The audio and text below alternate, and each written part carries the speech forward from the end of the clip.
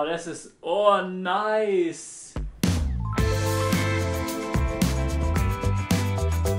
Leute, die mir auf Instagram folgen, wissen, dass ich ein großer Fan der virtuellen Realität bin. Und es gibt angeblich VR-Games, die angeblich den psychedelischen Drogenrausch simulieren können. Und da ich das bis jetzt noch nicht getestet habe, werde ich das testen und beurteilen, inwiefern das an einen echten Drogenrausch rankommt. Für die, die noch nie eine VR-Brille probiert haben, beachtet bitte, dass die Game-Aufnahmen, die ihr gleich sehen werdet, keine akkurate Repräsentation von dem sind, was ich unter der Brille sehe. Weil unter der Brille ist das tausendmal mehr 3D und fühlt sich sehr viel echter und einfach krasser an. Mann, das, da stellen zu viele Sachen. Ich will einfach nur trippen und ich will mir jetzt da keine Erklärung durchlesen. Äh, komm, okay, ah, cool, jetzt kann ich hier. Ah. Oh, wow. Oh.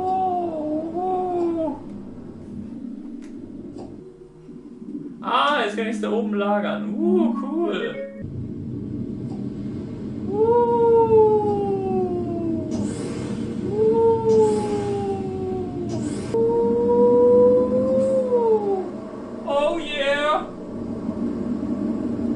Habe jetzt das Game genügend getestet, um sagen zu können, dass das Game leider gar nichts mit einem psychedelischen Trip zu tun hat. Ja, das Game hat so ein bisschen ein abgespacedes Design, aber sowas hat ja nicht wirklich was mit einem Drogentrip zu tun. Aber ich gebe die Hoffnung nicht auf. Ich habe mir gerade noch ein anderes Game gekauft, das äh, noch mehr darauf ausgelegt ist, angeblich einen Drogentrip zu simulieren, also vor allem einen psychedelischen. Ich habe da auch gerade einige Testberichte dazu gelesen, ohne mir da jetzt irgendwie Game Footage anzuschauen und ein paar Leute waren scheinbar von diesem Game ziemlich begeistert. Uh, mit denen kann man sowieso nichts machen. Ich könnte jetzt sagen, das Ganze schaut so aus wie so ein bisschen so ein Visualizer von Musik, wie man das kennt. Aber es würde ihm nicht gerecht werden, weil das äh, hat schon sehr viel mehr Dreidimensionalität. Wenn ich hier was sage, dann äh, ist da immer so ein Echo in meinem Ohr. Also ich höre so alles doppelt und alles äh, wiederholt sich so. Und ich sehe hier lauter bunte Sachen. Das hat was Verwirrendes. Es kommt jetzt nicht irgend sowas wie angenehme Musik, so wie ich sie mir gönnen würde, wenn ich trippen würde. Teilweise erinnert es an irgendwie Windows äh, Screensaver, so von früher. Wenn ich mich bewege, dann ergeben sich so Schlieren. Was, wenn ich jetzt Musik anmache? Okay, Google, spiele Musik. Okay, Google, stopp. Nee, das, ähm, das passt nicht so. Da könnte einem schlecht werden bei dem, was ich gerade sehe. Dann geht's ab, wenn man so macht. Dieses Game hatte definitiv trippige Elemente. Ich habe zwar noch nie so Dinge gesehen wie gerade in dem Game bei einem Trip, aber ich könnte mir vorstellen, dass wenn man bei psychedelischen Drogen eine sehr hohe Dosis nimmt, dass man dann irgendwas in die Richtung vielleicht sieht. Insgesamt muss ich sagen, dass ich auch von diesem Game enttäuscht wurde. Ich habe gerade 30 Euro für den Beta-Zugang zu diesem Game gezahlt und dann habe ich sowas bekommen. Echtes LSD ist da deutlich billiger. Ich verstehe nicht, warum es zu dem Game einige Artikel gibt, in dem die Autoren das Game ziemlich feiern. Dieses Game Soundself macht nicht mal Gebrauch von den Controllern. Da hätte man es doch genauso gut nur auf irgendeine Handy-VR-Plattform veröffentlichen können. Das was so mit Google Cardboard oder so sich reinzieht. Eine letzte Hoffnung habe ich aber noch. Ich habe mir gerade das Game A Large Quantity of Mushrooms gekauft. Allein vom Titel hört sich das schon sehr vielversprechend an. Schauen wir mal, was sich hinter diesem Titel versteckt. Oh. Oh, ich hab. Ich hab Klötze als Hände. Oh, cool, da kann ich jetzt die Shrooms essen. Das ist geil. Oh! Eat me. Oh, yum, yum, yum, yum. Ah, krass. Ja, jetzt verändert sich meine Sicht auch immer mehr. Ich würde aber jetzt nicht unbedingt sagen, dass mich das an einen Shroom-Trip erinnert. Oh! Cool, jetzt hebt sich die... Oh, cool! Also das schaut cool aus, was ich da hinten sehe.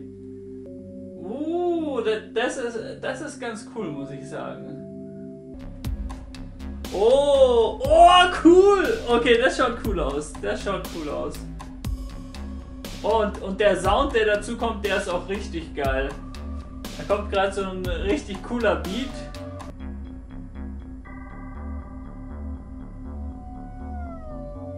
Oh! A large quantity of mushrooms. Oh! Oh, cool, jetzt stoßt mich da ab.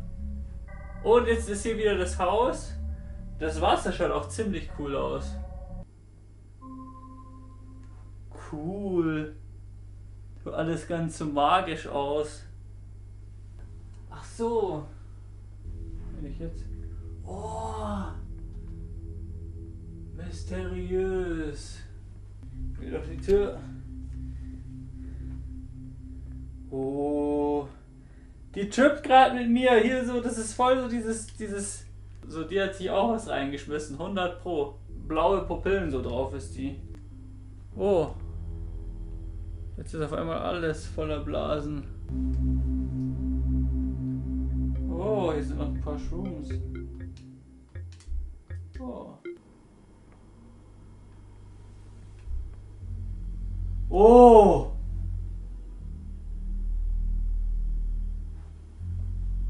Ich habe gerade jetzt ernsthaft kurz äh, Gänsehaut. Es ging mir gerade ernsthaft kurz Gänsehaut über den ganzen Körper. Das war jetzt schon krass.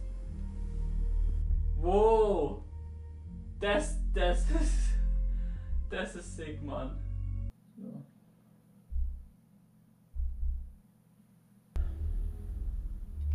Schlüssel auf.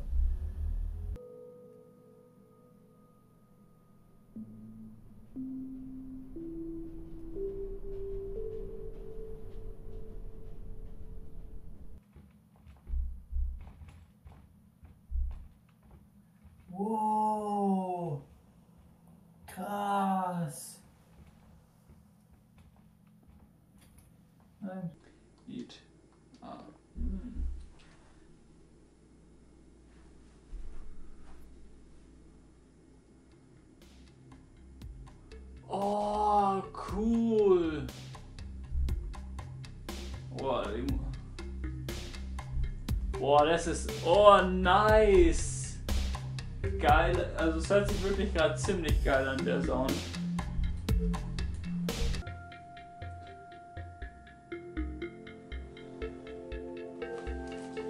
Uh. Ja, also ich muss sagen, die ersten zwei Games waren ziemlich enttäuschend. Das dritte war aber eigentlich ganz nice. Natürlich ist ein echter psychedelischer Trip nochmal was ganz anderes, aber das letzte Game hat es echt geschafft, mich in diese typische mystische, psychedelische Stimmung zu versetzen. Nice.